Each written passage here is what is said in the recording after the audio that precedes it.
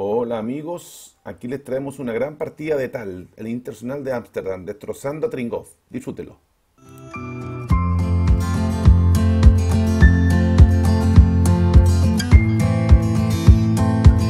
Hola amigos ajedrecistas, ¿cómo están? Aquí estamos transmitiendo desde los estudios Chestur una nueva miniatura inmortal. Esta vez con el gran Miguel Tal, jugando en el Internacional de Ámsterdam contra Georgi Tringov, que lleva las piezas negras. Año 1964. Y tal parte el juego con E4.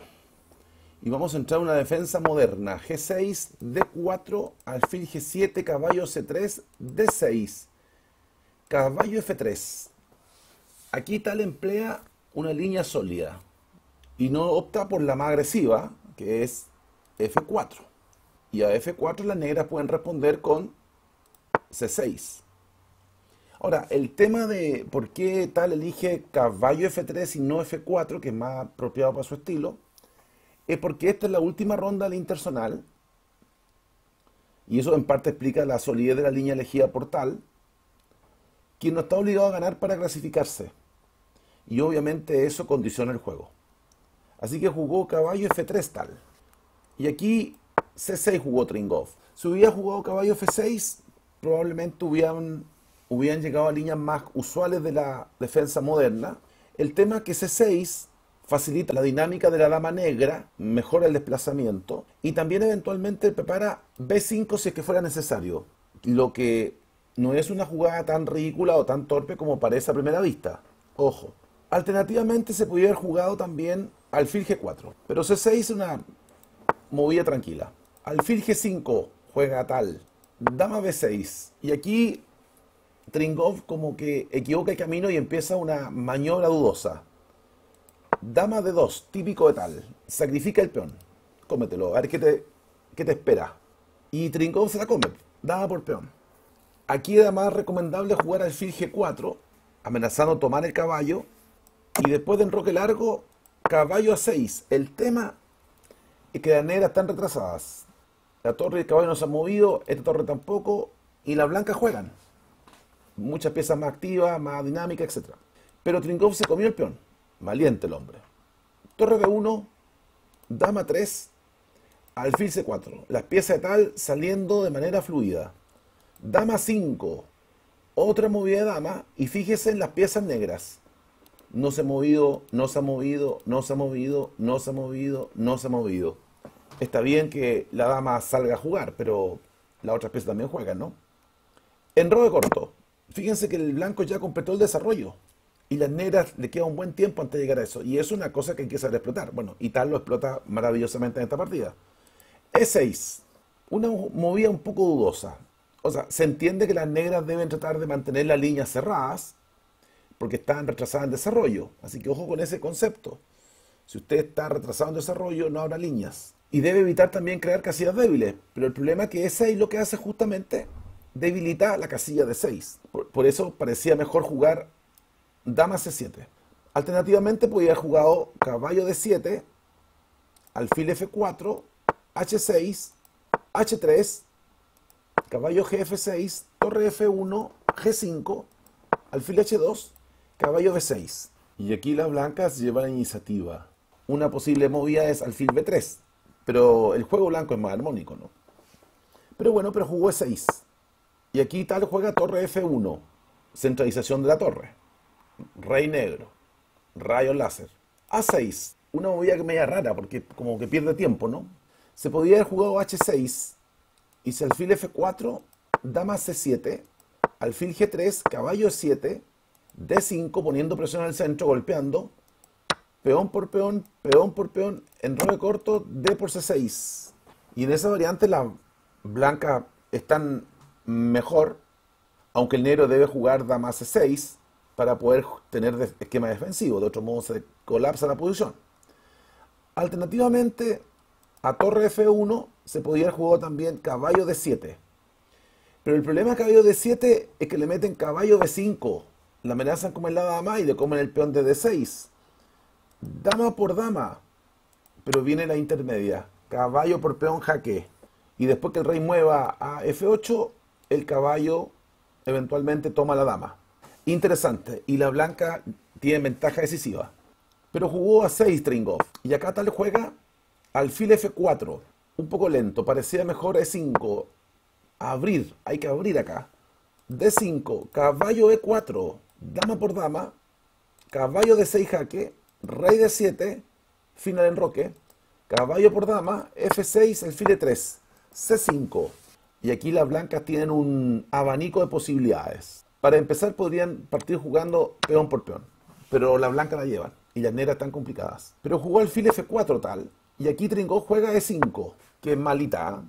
Mejor era dama C7, D5, E5, peón por peón, peón por alfil, caballo D5, dama C6, caballo B6, caballo E7, alfil D5 y lo están entrando por todos lados a Tringov, ¿no? Dama C5 viene caballo por torre. Y la blanca tiene iniciativa permanente. Pero jugó E5. Y aquí tal juega peón por peón. Peón por peón. Y las negras amenazan al alfil. Y aquí Tringov debe haber dicho, bueno, aquí tiene que mover alfil. Pero tal tenía otra idea. Y juega la brillante dama D6. Gran concepto de tal. Ocupa el punto débil de las negras. Y le le da la opción a las piezas negras de, de tener que elegir con cuál pieza comer, si peón por alfil o dama por caballo. Es el lujo que sea tal, después de dama de 6. Ahora, después de la partida, tal comentó que es cierto, me pueden comer cualquier pieza, pero una a la vez. Irónicamente, ¿no? Y aquí Tringó juega dama por caballo, que es mala.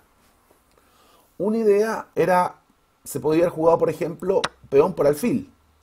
Pero peón por alfil viene caballo de 5. Y si peón por caballo, peón por peón jaque. Esta torre quedaba jaque, ¿se acuerdan? Los rayos X, bueno, ahora da jaque. Alfil E6, peón por alfil, F6, torre por peón, doble amenaza, torre por caballo, torre por alfil. ¿Quién cree que está mejor acá? Obviamente que las blancas, pues. Que están dando mate en cuatro. Impresionante.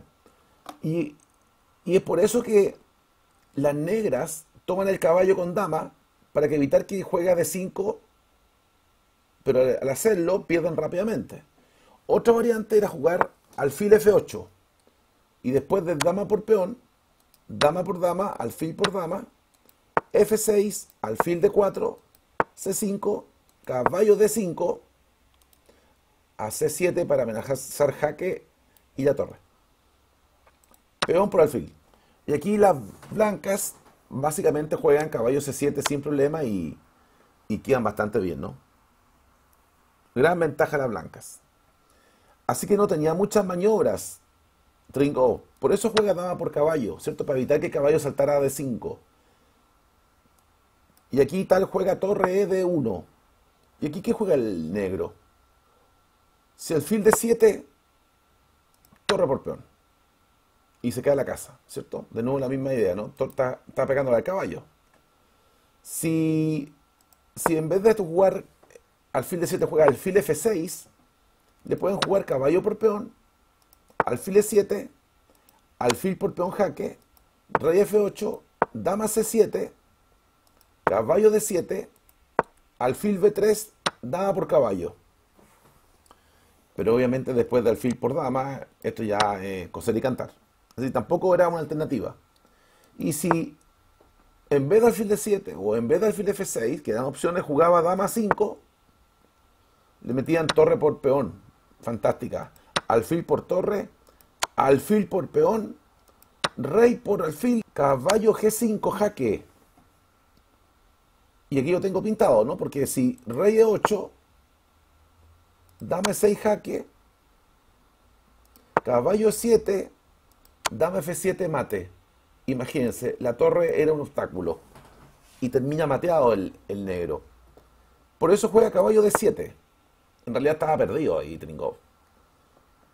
Y aquí simplemente tal lo repasa con fineza y le manda alfil por peón, jaque, rey por alfil, Caballo G5 jaque. Rey E8, dame 6, jaque. Y aquí Tringova abandonó. Dijo, no va más. En 17 movidas tal lo hizo Papilla. Lo molió. Si eventualmente aquí se juega Rey D8, caballo F7, Rey C7, Dama D6, mate. Bonito, ¿no? Hermoso remate. Y si eventualmente a Dama E6 juega Caballo E7, Dama F7, Rey D8, Caballo E6, mate. Para sacar aplauso, ¿no? Maravilloso, un aplauso espectacular para tal. Esta partida impresionante. ¿Cómo lo ejecutó tal? Impresionante. ¿Le gustó? Bueno, si le gustó la partida, deje sus comentarios, de sus likes, suscríbase al canal, apóyenos con la suscripción, apriete la campanita y si quiere apoyarnos con alguna donación, bueno, le dejo el enlace en la descripción. Espero que haya disfrutado la partida, yo la disfruté y nos estamos viendo en alguna otra miniatura inmortal o alguna otra partida impresionante. Que estén bien. Chao.